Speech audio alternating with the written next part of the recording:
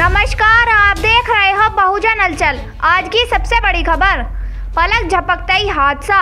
काशी विश्वनाथ के दर्शन कर लौट रहे एक ही परिवार के आठ लोगों की मौत। बता दें कि यूपी के वाराणसी, लखनऊ राजमार्ग पर सुरही गाँव में आज सुबह सात बजे कार और ट्रक के बीच भीषण टक्कर हो गई। इस हादसे में कार सवार पीलीभीत निवासी, दो सगे भाई व उनकी पत्नियाँ सहित परिवार के आठ लोगों की मौत हो गई।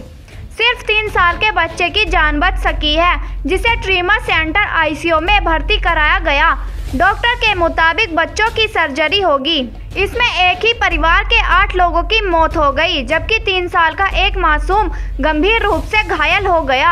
अस्पताल में बच्चे का इलाज जारी है। यह सड़क हादसा फूलपुर थाना के करखियाव में उस वक्त हुआ, जब तेज रफ्तार एर्टिगा कार की टक्कर ट्रक से हो गई।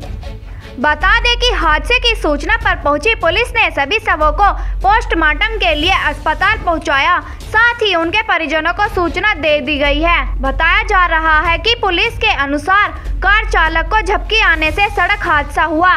घटना के बाद ट्रक लेकर चालक भाग गया। काश ये परिवार संत कबीर जी को पढ़कर थोड़ा गहराई से समझ लेता तो शायद ये नौबत न आती। ब्यूरो रिपोर्ट, बहुजन हलचल अगर आप चाहते हैं, गरीब हर वंचित इंसान की आवाज़ आप तक पहुँचे तो हमारे चैनल को सब्सक्राइब करें और बेल आइकन का बटन दबाना ना भूलें। देखते रहिए भजन न्यूज़।